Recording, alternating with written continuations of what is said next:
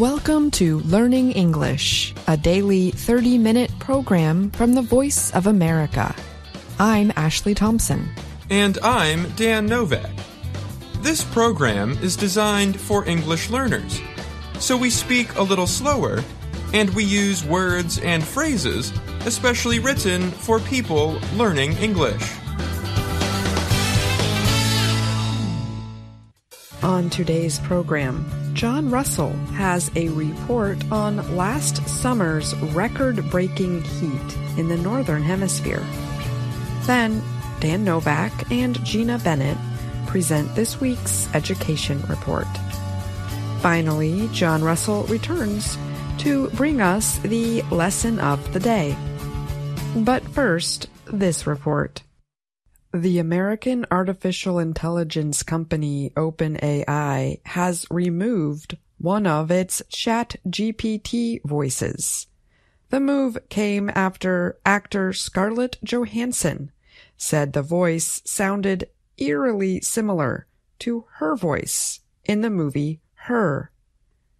In a post Monday on the social media service X, OpenAI said it is working to pause Sky.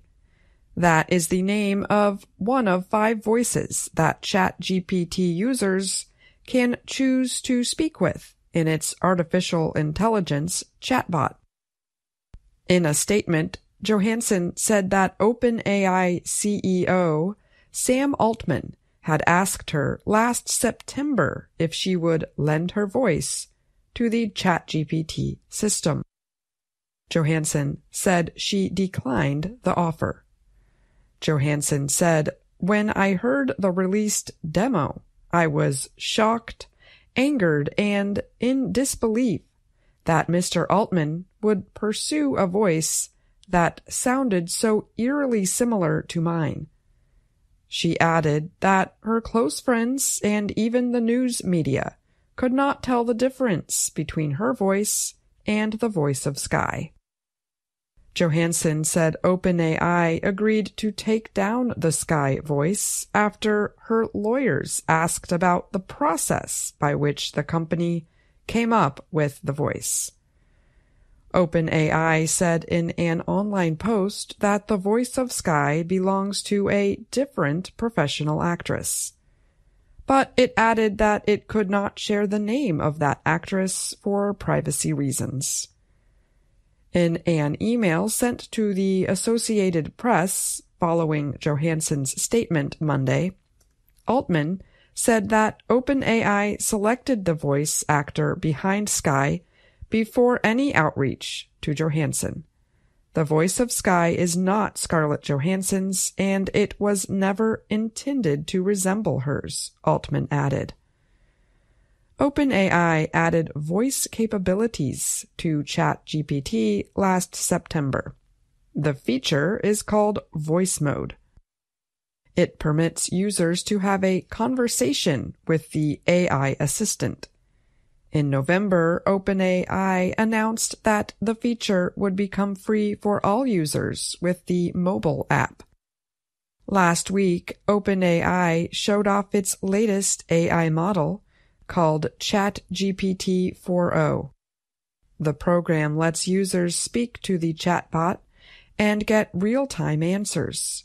The chatbot now has emotion in its voice and even tries to understand a person's emotional state by looking at a selfie video of their face. The capabilities have brought comparisons to the 2013 movie Her, the film follows a man who falls in love with an AI assistant, which is voiced by Johansson. Altman appeared to make the same comparison. He wrote the word her on the social media service X on the day of GPT 4o's release.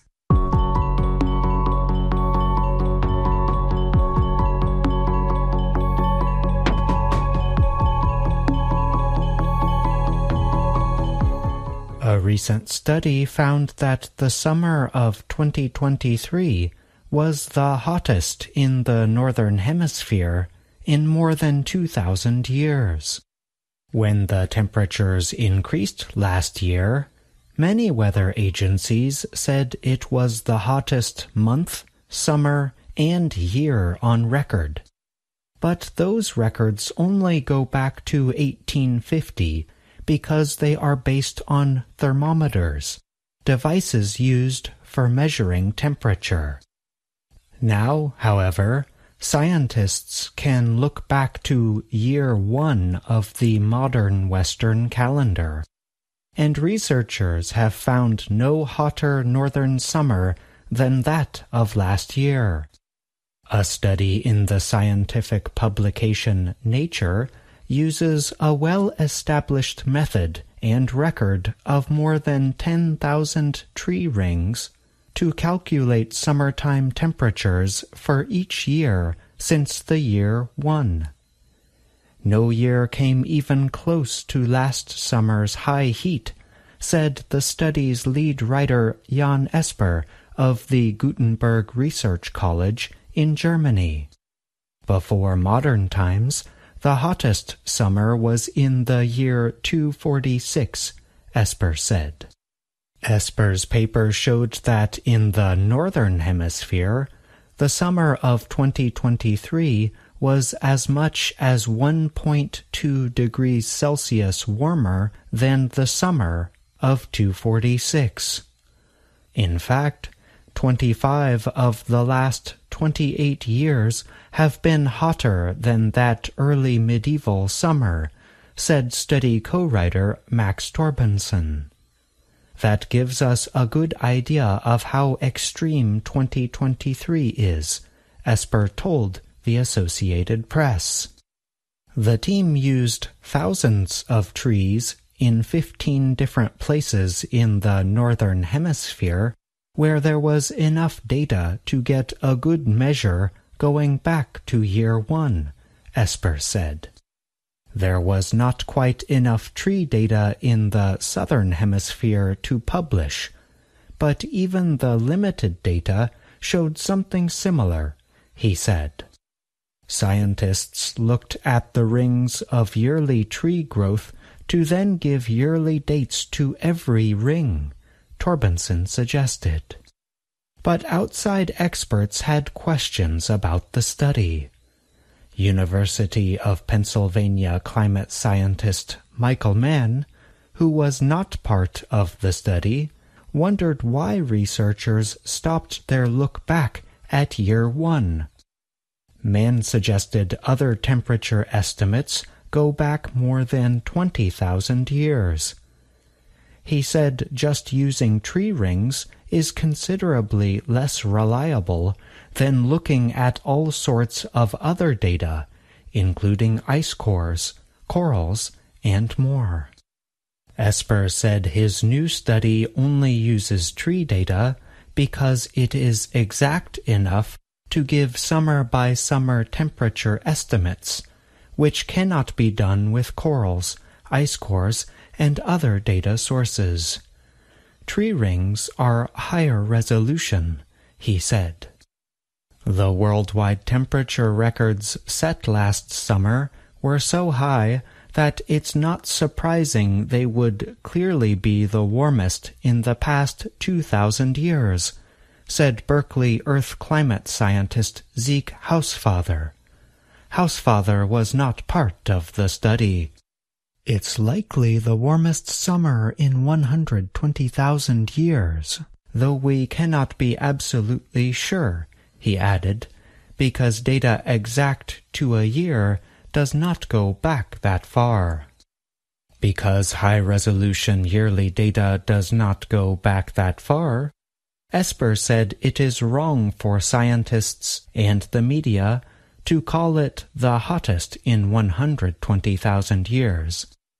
2,000 years is enough, he said. Esper also said the period of 1850 to 1900 that scientists, especially the Intergovernmental Panel on Climate Change, use for the base period before warming may be a bit cooler than the instrumental records show. The instruments back then were more often in the hot sun instead of sheltered from it, as they are now. And tree rings continue to show that it was about 0.2 degrees Celsius cooler than thermometers show. That means there has been a bit more warming from human caused climate change than most scientists calculate an issue being examined by researchers over the last few years. I'm John Russell.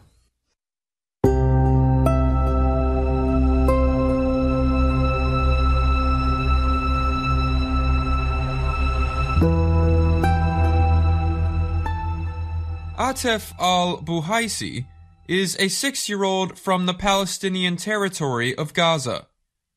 He once dreamed of a career building houses. Now all he wants is to return to school. In Israel's war with Hamas, Atef's home has been bombed, his teacher killed, and his school in Nusayrat made into a refuge for displaced people. He lives in a crowded tent with his family in Deir al-Balah in central Gaza. The war started last October. It was Israel's answer to the Hamas attack on October 7th. The terrorists killed some 1,200 people and took 250 hostages from southern Israel. Since the start of the war, all of Gaza's schools have closed, leaving hundreds of thousands of students like Atef without formal schooling or a safe place to spend their days. Aid groups are working to keep children off the streets and their minds centered on something other than the war. What we've lost most is the future of our children and their education, said Irada Ismail, Atef's grandmother. Houses and walls are rebuilt, money can be earned again, but how do I compensate for his education? Aid groups say about 80% of Gaza's population has been driven from their homes.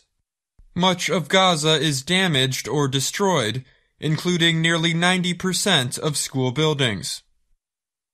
The Gaza Health Ministry, which is controlled by Hamas, says more than 35,000 Palestinians, including civilians and fighters, have been killed in the war. And the head of the UN World Food Program said a full-blown famine is already underway in the north. Children are among the most severely affected. The UN estimates some 19,000 children have been orphaned and nearly a third under the age of two face malnutrition. In emergencies, education is less important than safety, health, and sanitation, education experts say. But the effects are lasting. Before the war, Gaza was home to more than 625,000 students and some 20,000 teachers, the UN says.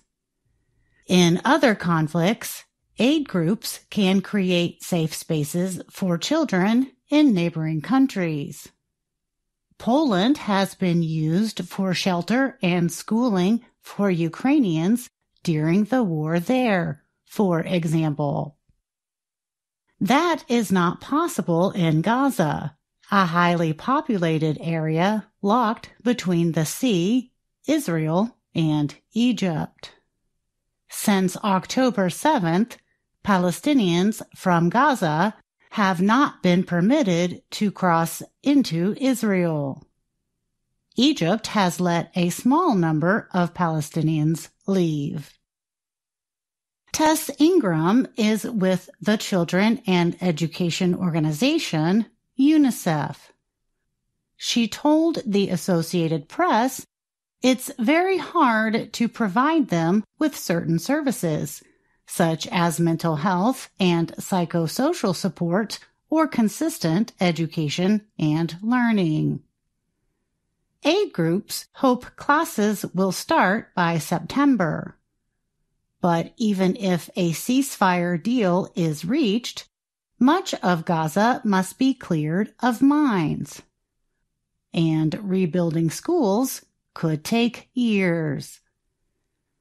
In the meantime, aid groups are providing activities like games, drawing, and art. The activities are not a formal education, but provide children with a sense of normalcy. Even then, supporters say, their attention often turns to the war. Atef's grandmother sees him draw pictures only of tents, planes, and missiles. Finding free space is among the biggest difficulties. Some volunteers use the outdoors, do their best inside tents where people live, or find a room in homes still standing. This month, UNICEF had planned to build at least 50 tents for some 6,000 children from preschool to grade 12 to provide some informal schooling.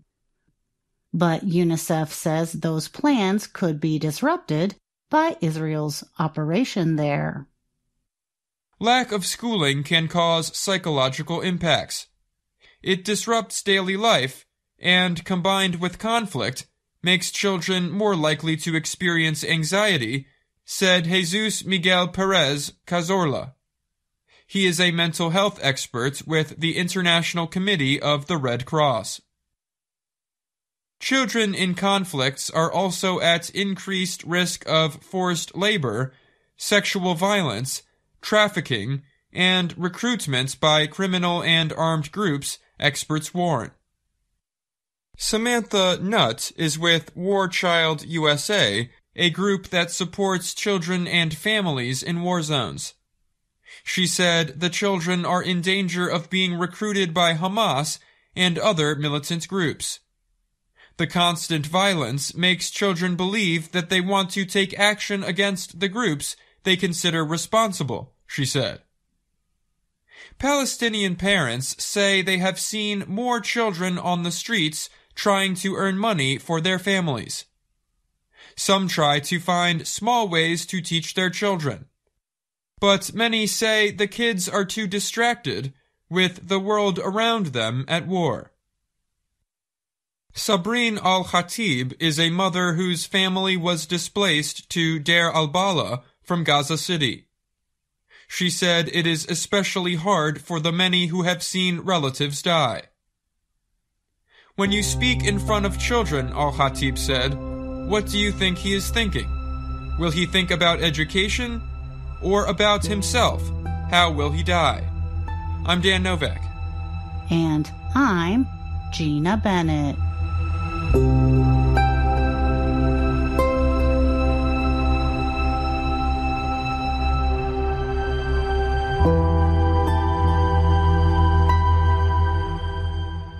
Dan Novak is here now to discuss more about today's education story on Gaza. Hi, Ashley. Thanks for having me. Dan, the situation in Gaza is, of course, extremely serious for civilians, especially children.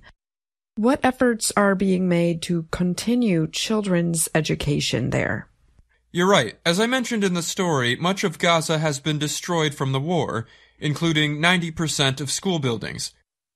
In times of war or disaster, education is lower in terms of importance compared to basic needs like shelter, food and water, and safety. But this war has been going on since October, and children that miss school for long periods of time are at risk of falling far behind in their learning. So there have been efforts by some aid groups and other volunteers to provide some informal lessons through games or in other ways. And finding a safe place to provide schooling is also a problem. Yes, that's proven to be one of the most difficult things. Like I said, many buildings are damaged or destroyed, and that means makeshift or temporary schools have had to open up, sometimes in tents or rooms in homes still standing. The psychological or mental effects of war must also affect schooling. Yeah, unsurprisingly, it's very hard for children to focus on things like math or reading when there's a war going on. Many of these children have seen relatives die, 19,000 children have lost both their parents. So, some families and aid groups have tried to provide some amounts of education, but it must be so hard for kids to think about anything else than the war going on right near them. Thanks so much for joining me, Dan, and thank you for that report. You're welcome.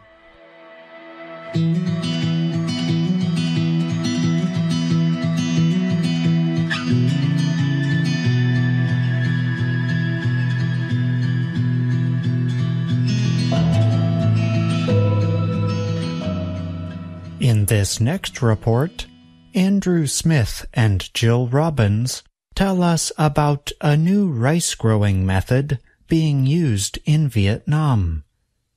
We learn about how the new method can lower labor costs and perhaps help the environment. Pay careful attention to the word alternate. We will talk more about it after the report. Farmers in Vietnam are growing rice using a new method thought to reduce emissions of methane gas and labor costs. The method is called alternate wetting and drying, or AWD. It uses about 30% less water than traditional ways of growing rice. It also uses small flying vehicles called drones to put nutrients in the soil.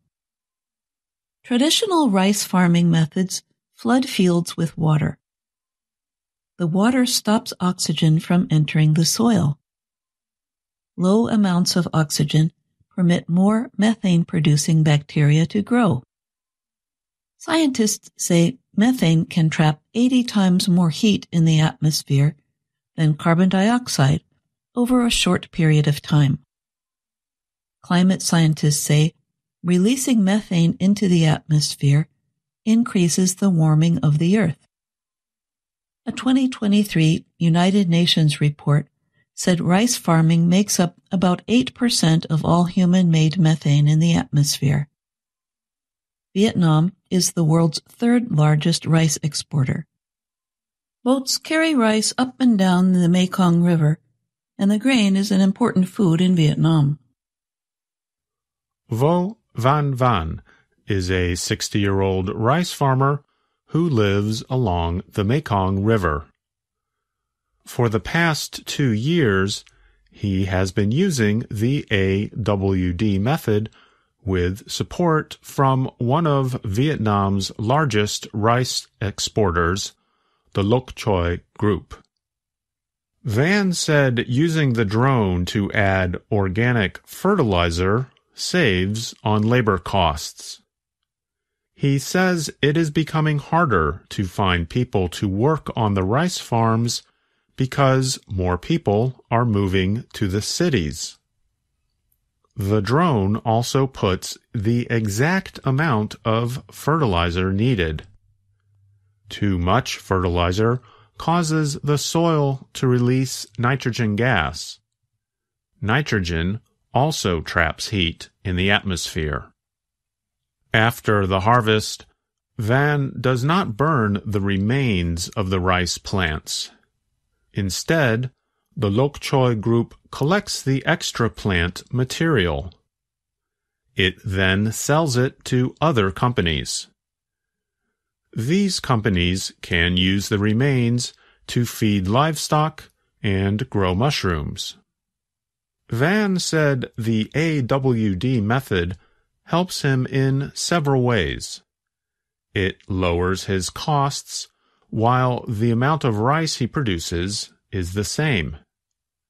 Using organic fertilizer helps him sell for a higher price in European markets. He also has more time to take care of his own garden.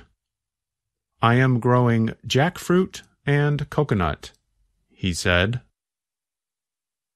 Nguyen Duy Tuan is the chief of the Loc Troi group. He said the AWD method uses 40% less seed and 30% less water. The Loc Troi group said the method is used on 100 hectares of rice farms. Tuan said the company wants to expand AWD farming to 300,000 hectares. The Vietnamese government aims to grow low emissions rice on 1 million hectares by 2030. Vietnamese state media reported that officials said the method could reduce production costs by about 20% and increase profits by more than $600 million. In recent years, the Mekong River's water quality has changed. Dams in China and Laos have reduced water flow. Building projects cause problems because they use a lot of water and sand from the river.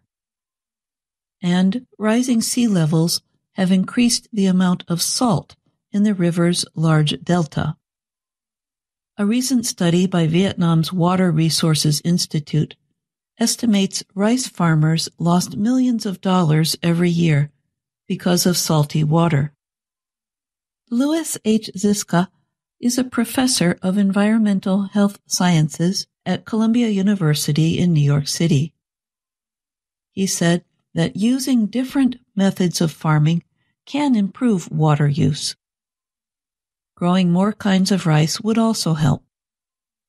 Some kinds can better resist hot weather or need less water, Ziska said.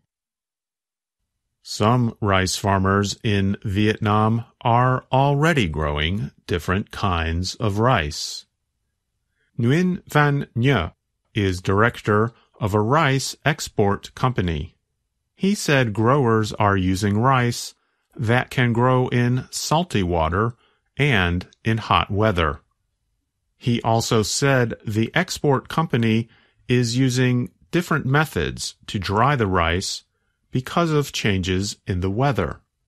He said unseasonal rains are making it harder to dry the rice in the sun.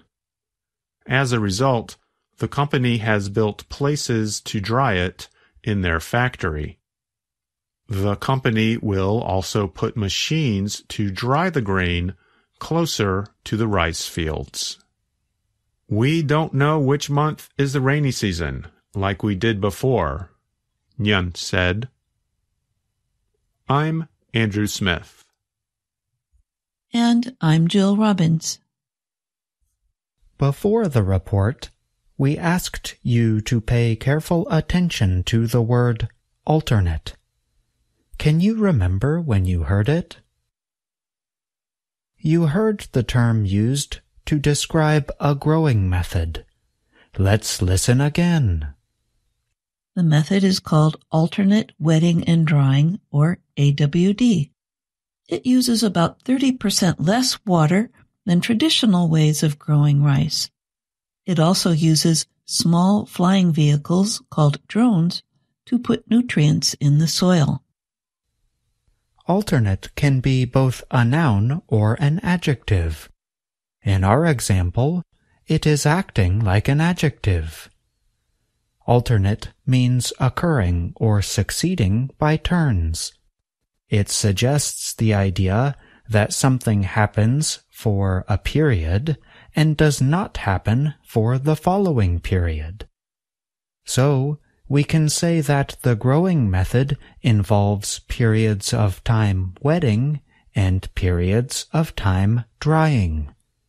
That is why the method is called alternate wetting and drying. We spell alternate like this.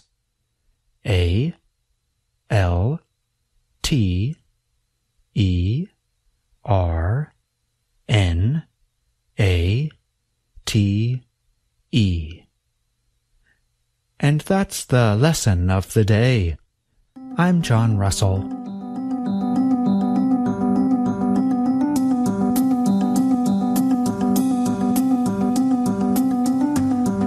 That's our program for today. Join us again tomorrow to keep learning English through stories from around the world. I'm Ashley Thompson. and